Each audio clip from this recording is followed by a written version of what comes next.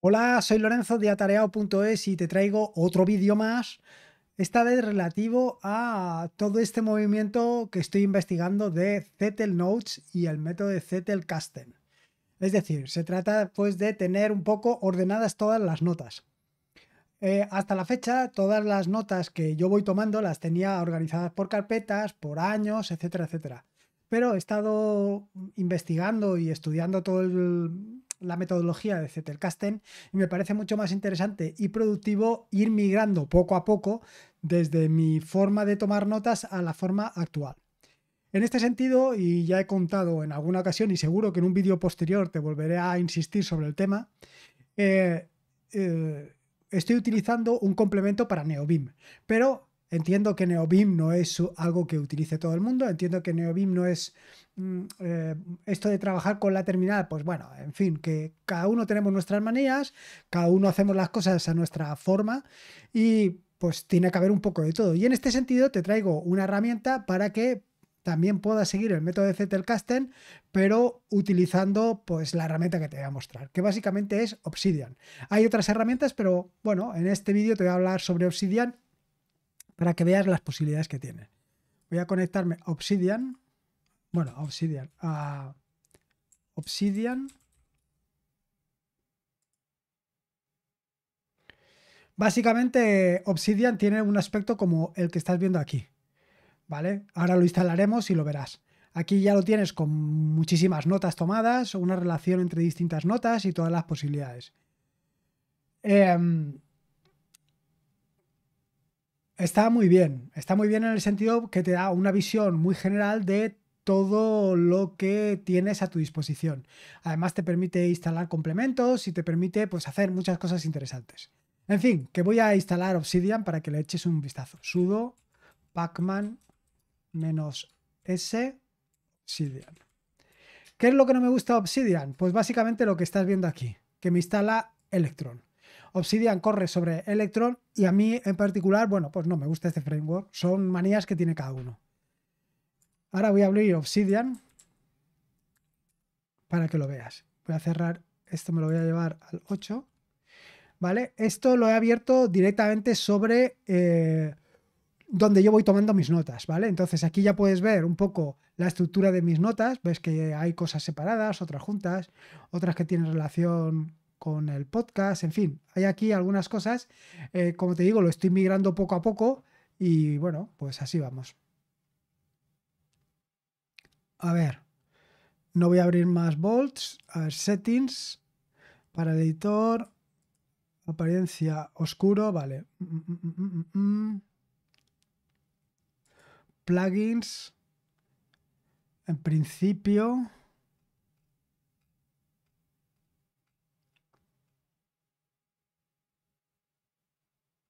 Nada más. Bueno, esto es un poco. Entonces, si por ejemplo voy a esta, pues me puedo ir moviendo directamente entre cada una de las notas. También lo puedo hacer desde aquí. Y por supuesto, también desde aquí puedo ir, por ejemplo, a esta nota, si acierto, voy a esta nota. Y voy siguiendo cada una de las notas. Por supuesto que aquí puedo eh, editar cada una de las notas y ver el resultado incluso la previsualización.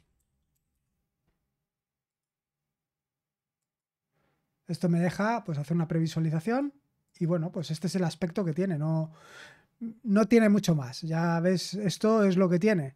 Eh, que evidentemente, pues claro, aquí puedes buscar pues por, por, etiquetas, puedes buscar por nombre, por ejemplo, si ahora yo busco NBIM, pues me va a buscar en todo lo que hay sino por etiquetas NBIM o NeoBIM o Rust. Bueno, pues no, encuentra ninguna de las que te estoy diciendo. Python. Pues por Python debería de encontrar, hombre. Ahora ya sí que me he mosqueado. Eh, a ver, de los vídeos, en los vídeos yo creo que en el capítulo 405, pues sí, ahí está Python. Vale.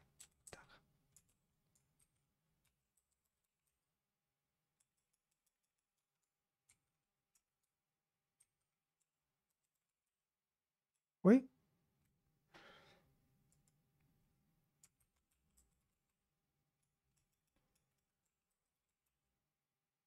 Bueno, pues algo no estoy haciendo bien porque no lo encuentra.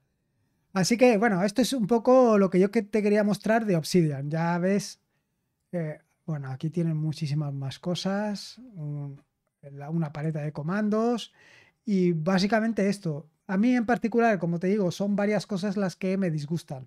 Por un lado es la parte de Electron y por la otra parte que a mí, probablemente desde el desconocimiento,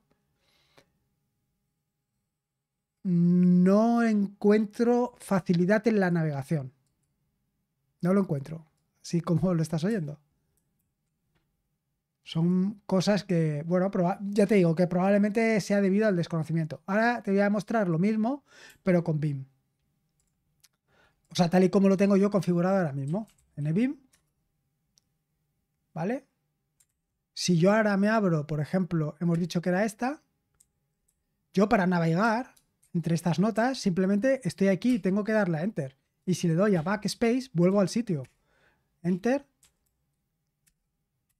Por ejemplo, si me voy a los vídeos, míralo. O sea, ya estoy aquí.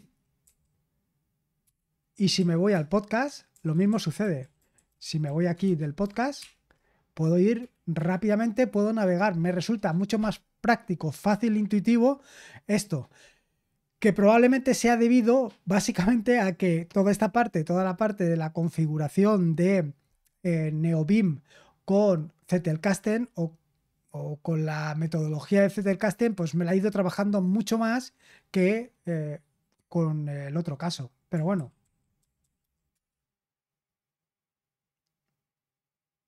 Yo lo veo un poco así. Así que nada, esto es un poco lo que quería mostrarte. Sobre todo quería mostrarte dos cosas. Primera, eh, espérate que voy a desinstalarlo, sudo pacman pacman r, obsidian, ro2 y electron 17. Le decimos que sí y ya me he librado de todo eso. Sobre todo que te quería mostrar eh, dos cosas. La primera es que existen herramientas en el ecosistema Linux prácticamente para hacer cualquier cosa entre estas para seguir la metodología de Zettelkasten y por otro lado que dependiendo de tu, ¿cómo te diría? De lo cómodo que te encuentres en cada uno de los ambientes, pues a lo mejor puedes requerir una herramienta como puede ser Obsidian para hacer todo el tratamiento de Zettelkasten o bien en otras ocasiones puede sucederte igual que me sucede a mí, que me encuentro mucho más cómodo trabajando con NeoBeam que utilizando el método Zettelkasten desde Obsidian. Pero básicamente por esto. Por supuesto que instalando complementos, personalizando em, Obsidian, puedo conseguir una sensación, una experiencia de usuario exactamente igual que la que actualmente tengo con el caso de NeoBeam. Pero por ahora no es así. Y claro, prefiero eh, dedicar más tiempo y dedicar más investigación a trabajar sobre NeoBeam que dedicar tiempo e investigación a trabajar sobre Obsidian. ¿Por qué? Pues, pues una razón muy sencilla. La razón para mí es que me encuentro muy cómodo en la terminal.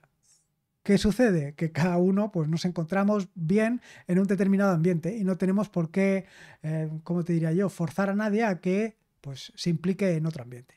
Y nada más, esto es un poco lo que te quería contar. No quería darte la paliza, te quería mostrar un poco lo que es el método Zetterkasten. Quería que vieras también las opciones que te ofrece Obsidian y quería compararlo con este plugin que tengo instalado que funciona con, también con el método Zetterkasten. Así que nada, nos vemos en un próximo vídeo. Recuerda que esto es un vídeo del proyecto atareado.es y es importante que te suscribas para que este proyecto continúe y se prolongue hasta el fin de los días. Venga, un saludo y nos vemos en un siguiente vídeo. Hasta luego.